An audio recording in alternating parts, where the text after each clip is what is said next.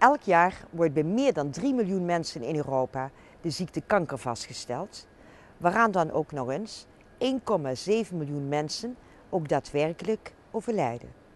De ziekte kanker is daarmee de op één na meest voorkomende doodsoorzaak in Europa.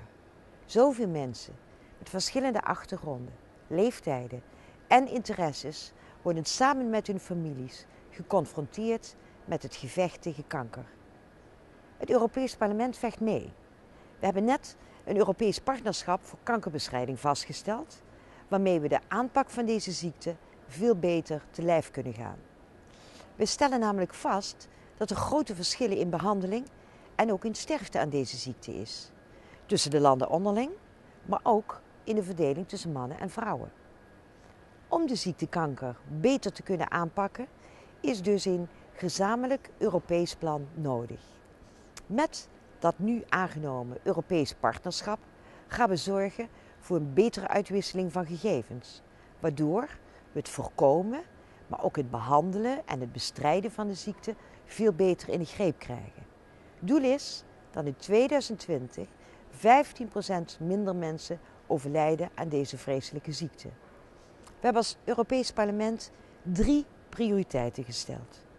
Moet allereerst meer geld voor preventie komen. En dat is echt nodig, omdat in een derde van alle gevallen kanker te voorkomen is.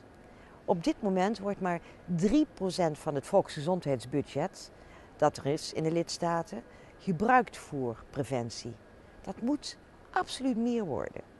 Ook wordt ingezet om een veel strenger voorkomingsbeleid. Dat wil zeggen acties tegen tabak, alcohol en slechte voeding. Maar ook het stimuleren van sport en lichamelijke activiteiten is van groot belang. En als tweede willen we meer steun voor het kankeronderzoek. Waarbij ook veel beter in kaart gebracht moet worden wat de eventuele schadelijke gevolgen zijn van bepaalde chemicaliën, van milieuverontreinigende stoffen, van slechte voeding en ook een onverstandige manier van leven.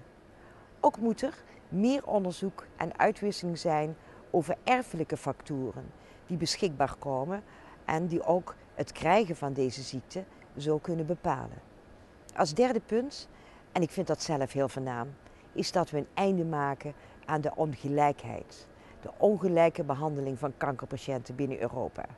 Er bestaat nog een echt ijzeren gordijn tussen Oost en West, waar het gaat niet alleen om de overlevingskansen van kankerpatiënten, maar ook de behandeling.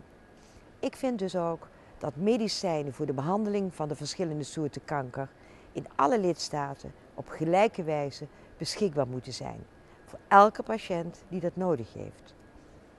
Het Europees Partnerschap tegen Kanker zorgt ervoor dat we beter gewapend zijn tegen deze ziekte en ooit de strijd te samen gaan winnen.